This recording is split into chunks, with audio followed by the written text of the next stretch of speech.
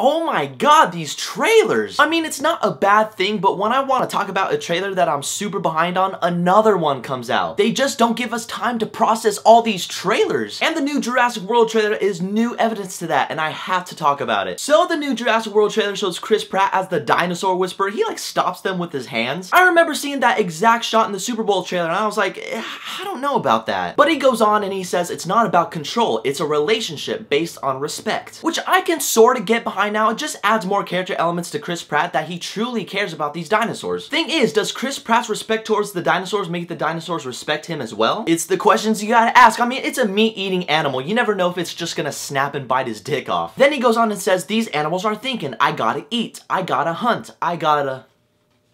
You can relate to one of those things, right? Which that right there is the reason why Chris Pratt is awesome and easily one of the biggest stars in Hollywood right now. He makes these really off-the-wall sex jokes. They can be funny, but Chris Pratt, he can pull that off. Then Bryce Dallas Howard goes on and says, every time we've unveiled a new attraction, the attendance has spiked. Then you see in one of those attractions where the people are like watching from a log window and there's a goat standing right there is all like, hey, eat me. Imagine they recreate the scene from the original Jurassic Park where the goat's leg lands on top of the car, but this time the dinosaur just grabs a hold the goat leg and tosses it at the log window and boom, sticks like putty in front of a lot of men, women, and children. And you see that big ass fish from the first trailer eat the rest of the shark. People are all cheering. I'm like, I wish there was an attraction like that. That would be awesome. That was awesome. See? Even that kid, which I don't know his name, he agrees with me. They go more in depth of the villain in this movie, which is the genetically modified dinosaur that goes batshit crazy. And one guy that kind of reminds me of George Takei Sulu, he's all like, she's designed to be bigger than a T-Rex. Which gives us that feel on how huge this monster is gonna be. I mean, we've seen it, but like, we feel it now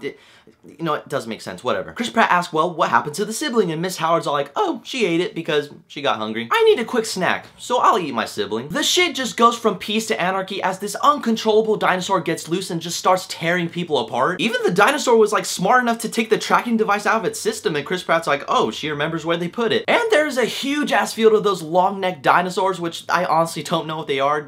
I feel really stupid not knowing. I forgot some of my childhood. How dare I? Then we learn to find out that this dinosaur is killing for sport, that is when it turns to pure anarchy inside Jurassic Park. I bet Bryce Dallas Howard feels pretty stupid afterwards because she's basically the reason why all these people are dying. And Chris Pratt says, if we're gonna do this, we're gonna do this my way, which, yeah, listen to Star-Lord, guys. He trains raptors. You have to admit, this shot's beautiful. Which I'm not so entirely sure whether the raptors are gonna be on his side or not because one dude tells Chris Pratt, oh, they're communicating with each other. So is it gonna be like the main villain dinosaur gets out and then it communicates with others and joins forces to start eating everybody? If I'm right, it shouldn't have shown that in the trailer. It kind of feels like a spoiler. However, I feel like they haven't shown enough to make you go like, oh, I've basically watched the entire movie. Thanks, Universal. It's not a bad thing, really. I like going into my movies with surprises, and yes, even for a Jurassic Park movie. I'm still gonna see the movie because, I mean, shit, pterodactyls are taking people off from the ground. Hey, at least I know that one's name. Have you guys seen the new Jurassic World trailer? What did you think about it? Whatever your thoughts are, leave a comment below. And as always, there's a link for my Twitter and my Facebook in the description as well. Keep in contact with me. Don't forget to hit that subscribe button. But in the meantime, I have to get going.